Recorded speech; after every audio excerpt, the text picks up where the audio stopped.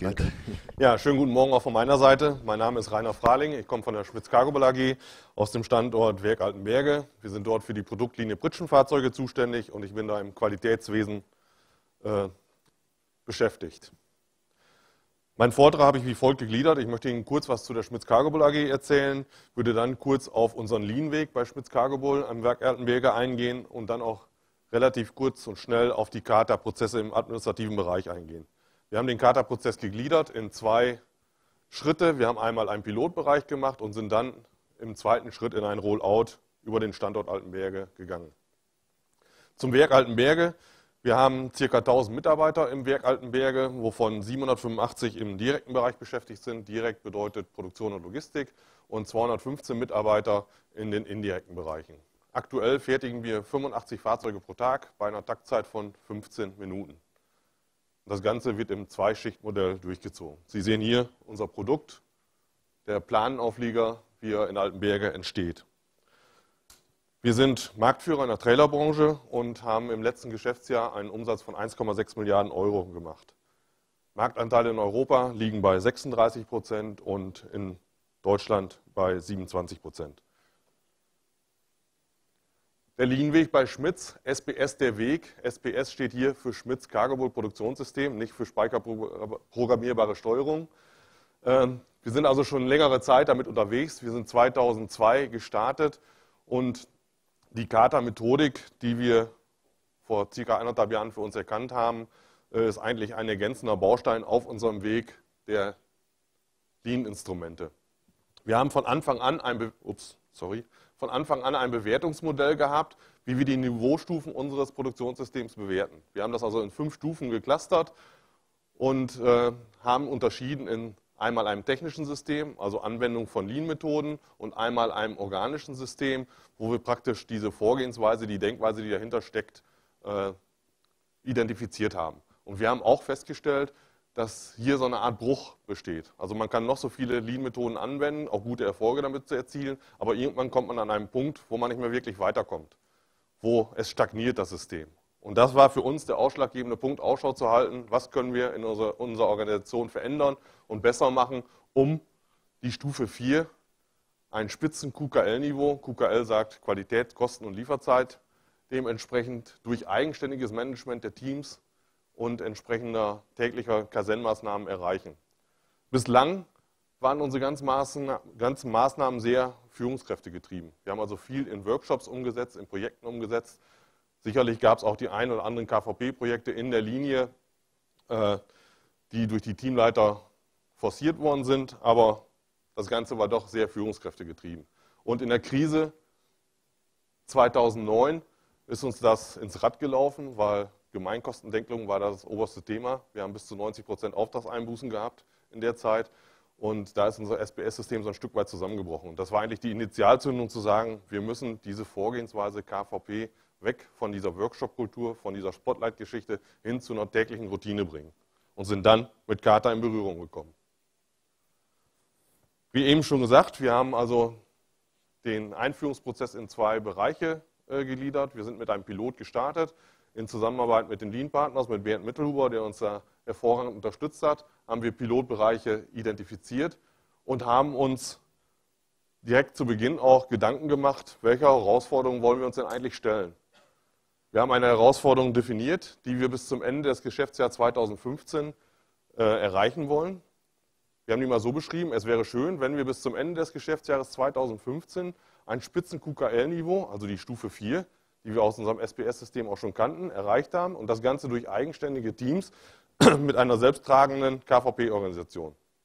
Wir wollen bis dahin alle Geschäftsprozesse mit einem aktuellen Zielzustand versehen haben, an denen auch Mentis arbeiten, um diesen Zielzustand zu erreichen und die Prozesse zu verbessern. Wir wollen bis 2016 dann auch so weit sein, dass der Kata-Prozess ohne externe Berater aufrechterhalten werden kann und auch weiterentwickelt wird. Ist-Zustand am 23.01., als wir gestartet sind, war dann halt so, stagnierende Weiterentwicklung unseres Produktionssystems, KVP-Prozesse werden durch Führungskräfte getrieben. Und unser Zielzustand, wir wollten einfach im ersten Schritt nur mal Erfahrung sammeln. Ist die Kata bei Schmitz überhaupt anwendbar? Wir haben schon unsere eigene Führungskultur, ich sag mal, und unsere eigenen Arten bei Schmitz Cargobull und wir wollten herausfinden, lässt sich diese Methodik, diese Vorgehensweise bei uns implementieren. Wir haben uns als Ziel gesetzt, drei Pilotbereiche in der Administration zu wählen. Wir wollten nicht wieder den Fehler machen, den wir ganz am Anfang mit der Lean-Systematik gemacht haben, die Administration außen vor zu lassen, sondern ganz bewusst den Fokus auf die Administration gelegt. Ein Bereich in der äh, Produktion. Das Ganze wollten wir mit einem externen Berater durchführen und wollten parallel während dieser Pilotphase schon anfangen, interne Berater auszubilden. Dieses D-Formular bzw. das Coachingblatt äh, haben Sie eben schon mehrfach gesehen in etwas anderer Form. Auch wir nutzen so ein ähnliches Blatt, auch für die indirekten Bereiche, um unsere Coaching-Prozesse zu dokumentieren. Wir reden da nicht von fünf Fragen, sondern wir haben sieben Fragen, die wir stellen. Wir fragen nach dem Zielzustand. Wir äh, fragen, was ist der letzte Schritt gewesen? Wie ist dein aktueller Zustand? Was hast du aus dem letzten Schritt gelernt? Was ist das aktuelle Hindernis? Was du angehen möchtest und was ist deshalb der nächste Schritt. Wir konnten für uns diesen Pilot sehr erfolgreich abschließen und haben für uns erkannt, ja, das passt in die Schmitzwelt rein. Wir haben also nach ungefähr viereinhalb Monaten drei Pilotbereiche in der Administration mit Zielzuständen versehen, die durch ein Menti bearbeitet worden sind. Wir haben in der Produktion einen Bereich gehabt, wir haben das Ganze mit einem externen Berater durchgezogen und haben auch parallel einen internen Berater ausgebildet. Zur Reflexion dieser Pilotphase, was konnten wir beobachten? Also es gibt schon Unterschiede zwischen der Administration und der Produktion. In der Produktion sind wir klassisch so hingegangen, dass wir eine Ist-Analyse gemacht haben innerhalb von zwei Tagen und sind dann eingestiegen in den Coaching-Prozess. Da das in der Administration oft nicht so einfach ist, die Prozesse weniger sichtbar sind und wir die erstmal transparent machen müssen, haben wir diese Zeit, die durchaus länger war als diese zwei Tage, schon genutzt, um in den Coaching-Prozess einzusteigen. Wir haben wahrgenommen, dass die Mitarbeiter aktiv bei der Sache sind, dass äh, die kleinen Schritte, die definiert worden sind, im Tagesgeschäft gut zu schaffen sind, dass es keine Mehrbelastung für die Mitarbeiter ist wir haben aber auch gemerkt, dass die Mitarbeiter in den administrativen Bereichen ja, eigenverantwortliches Handeln eigentlich immer schon gewohnt waren, gewisse Freiräume hatten und am Anfang ja, eine gewisse Skepsis da war, wo die gesagt haben, hm, warum beobachten die mich denn jetzt? Warum muss ich diesen Teilprozess so detailliert beobachten? Ich mache das schon jahrelang, ich weiß schon, was ich dazu. Äh, aber diese Hindernisse, diese Hemmungen konnten wir relativ schnell äh, nehmen, da die Arbeitsweisen und die Ergebnisse, die wir erzielt haben, doch sehr positiv bei den Leuten angekommen ist.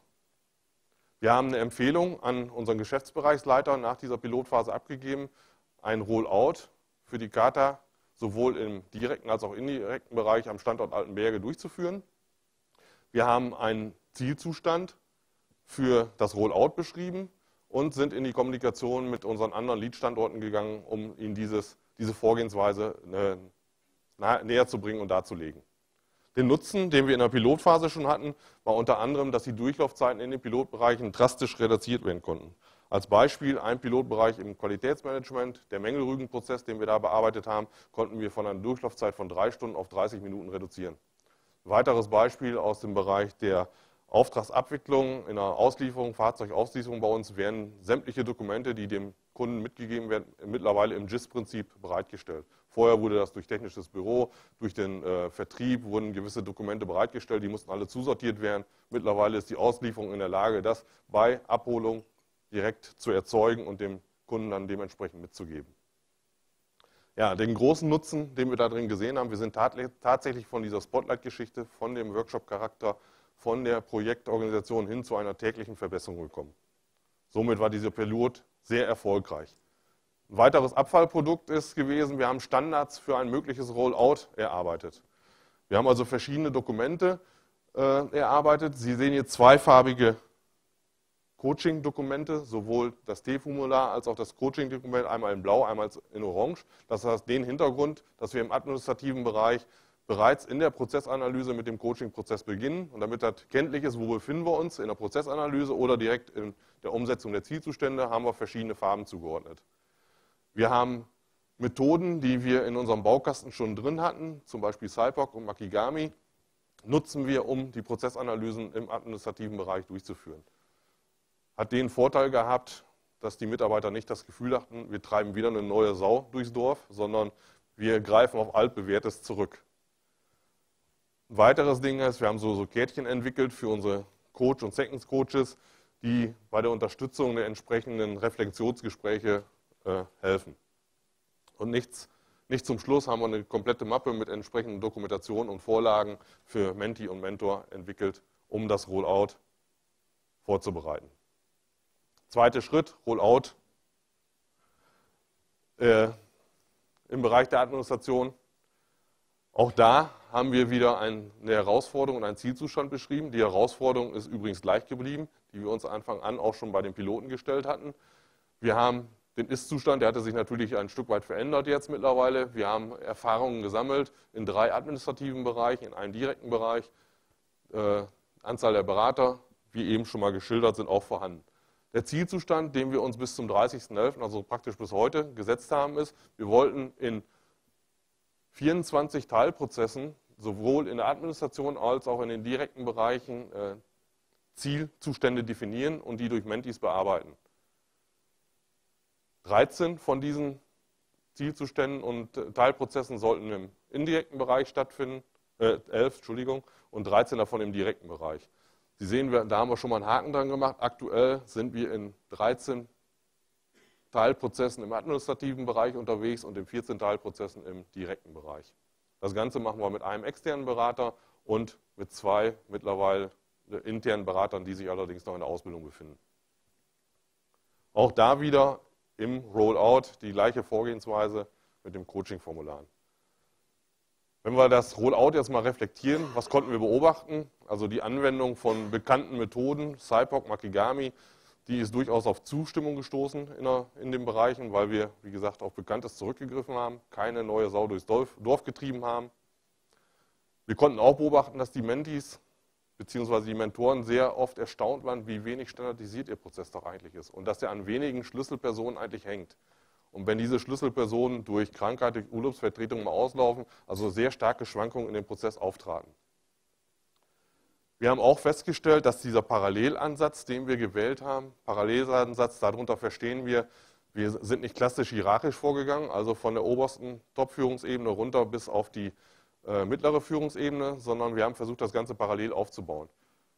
Der Top-Manager ist direkt als Coach eingestiegen, ohne Erfahrung in der Verbesserungskarte zu haben. Und das hat sich im Nachhinein als ja schwierig dargestellt.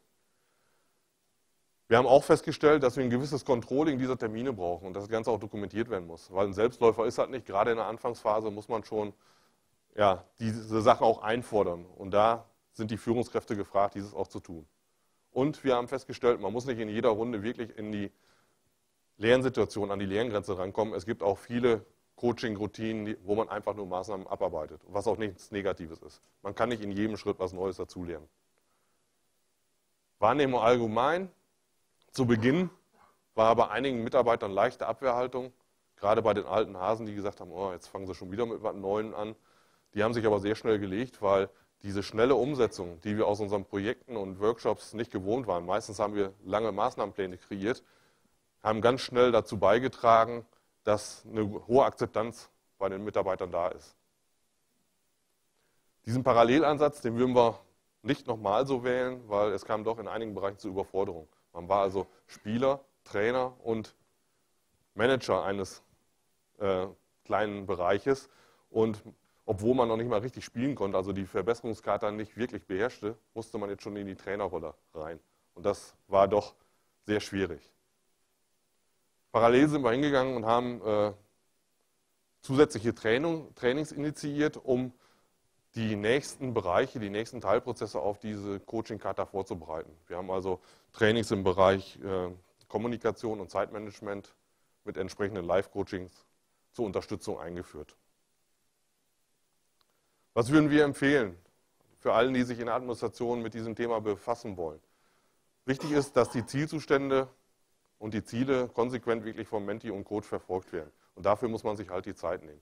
Am Anfang ist es vielleicht ein bisschen mehr Aufwand, gerade in der Prozessanalyse, die zieht sich auch schon mal über ein, zwei Wochen, weil die Prozesse doch nicht so zyklisch sind, wie wir es aus der Produktion kennen. Wir haben keine Taktung im Minutenbereich, sondern es können da auch mal drei, vier, fünf Stunden zwischen den einzelnen Zyklen dazwischen liegen.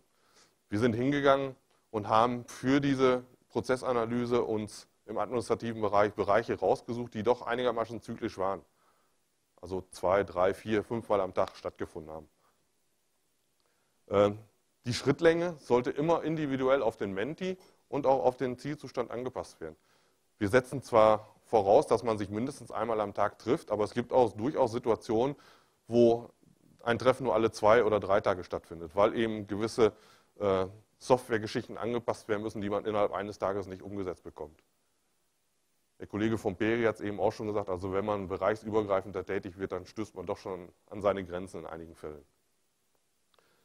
Wir haben auch oder würden empfehlen, mit der Ausbildung der Trainer rechtzeitig zu beginnen und das auch vernünftig durchzuplanen. Gerade wenn man schnell ins Rollout gehen will, so wie wir es gemacht haben, innerhalb von einem Dreivierteljahr mittlerweile 24 Bereiche, äh, die wir mit Zielzuständen coachen, braucht man doch intern auch jede Menge Kapazitäten, die diese äh, Coaches und Second Coaches nochmal unterstützen. Und wir würden als Empfehlung weitergeben, das wirklich top-down von oben nach unten äh, anzufangen und nicht so, wie wir es gemacht haben, mittendrin einfach das mittlere Management mal rausgenommen haben und punktuell das Top-Management mit dem Thema Kata beglückt haben. Den Nutzen, den wir bislang äh, erreicht haben in, in diesem Pilot und auch in der äh, in dem Rollout ist.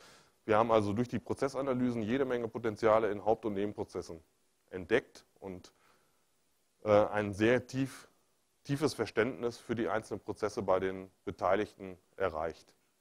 Durch die schnelle Umsetzung und Verbesserung und von Verbesserungsmaßnahmen und die täglichen Routinen haben wir eine sehr hohe Akzeptanz bei den Mitarbeitern erreicht und die anfänglich dagegen waren, die sind jetzt Feuer und Flamme für dieses System. Durch regelmäßige Anwendung von bestimmten Methoden haben wir auch nochmal einen Effekt, den wir in unserem Produktionssystem nochmal äh, weiter verfolgen können. Das heißt, das Handlungswissen, was Methoden wie Cypok, wie Makigami betrifft, ist nochmal deutlich besser geworden. Und die Kommunikation zwischen den Führungskräften und den entsprechenden äh, Mitarbeitern jeden Tag durchzuführen, hat nochmal eine ganz andere Sichtweise und ein ganz anderes Verständnis hervorgerufen. Letztendlich hilft es, unser Produktionssystem nochmal eine Niveaustufe höher äh, anzuheben. Und für uns ist die Kata keine neue Sau, die wir durch Dorf treiben, sondern einfach nur eine optimierte Vorgehensweise bei der Implementierung von KVP-Maßnahmen im Tagesgeschäft. Nicht, zum Schluss haben wir unsere Standardprozesse deutlich verbessert und die Prozessqualität gesteigert. Um Ihnen mal einige Beispiele zu nennen, wo wir zurzeit unterwegs sind mit der Charta. Wir sind also im Bereich des Qualitätswesens unterwegs. Äh, in Bezug auf Mängelrügen hatte ich Ihnen eben schon mal gesagt. Wir sind bei der Mitarbeiterverplanung. Im Bereich der Erstbemusterung sind wir unterwegs. Wir sind im Bereich des technischen Büros bei der Auftragsabwicklung unterwegs. Wir sind in, äh, im Einkauf und in Logistikprozessen unterwegs und haben in diesen Bereichen Zielzustände definiert, die gemeinsam mit den Coaches nun bearbeitet werden. Ja, vielen Dank für Ihre Aufmerksamkeit.